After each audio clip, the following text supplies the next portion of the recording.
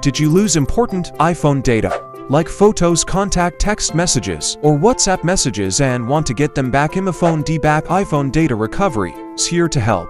It can recover lost or deleted data from iOS devices, iTunes Backup, and iCloud Backup. In this video, I will show you how it works. First, download iMyFone D-Back from iMyFone official website on your computer. Then launch iMyFone D-Back. You will see an interface like this. From the upper side, there are for recovery modes, Smart Recovery, Recover from iOS device, Recovery from iCloud Backup, Recover from iTunes Backup, also PC and hard drive recovery. First mode. Recover from iOS device mode will scan your iOS device deeply to find the lost data. You will need to connect your iOS device to the computer during this process, and it is suitable for people who have lost or deleted the iOS data without making any backup. Actually, when you back up data using iTunes or iCloud, it saves not only the existing data, but also some deleted data on your iOS device. It's just not accessible by default. The second and the third mode recover from iTunes Backup and recover from iCloud Backup are designed to extract the existing data and the hidden data from your backup files.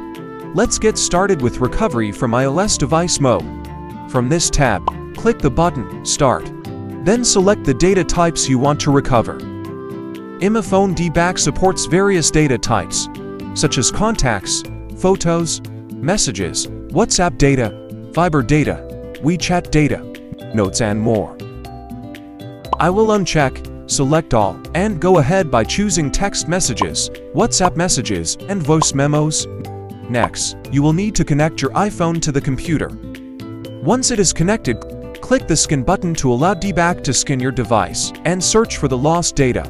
Once the scan is finished, you can preview all recoverable data from the screen. Select the data you want to recover and click the Recover button. Then select the location. All the chosen data will be saved onto your computer in a while. That's a quick overview of how to recover data from iOS devices using D-Back. You can also try the other three modes with similar steps. Thanks for watching I hope you enjoyed this video. Don't forget to download the free trial of iMyFone D-Back to get started now.